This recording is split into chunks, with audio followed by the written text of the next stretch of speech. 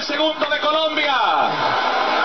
Vamos muchachos de Colombia, todo el país se paraliza para esta pena máxima de Radamel. Y va a pegar Falca. Va a pitar el árbitro Oliveira. Radamel, Vito Oliveira, viene Falcao. Viene Falcao, le pega.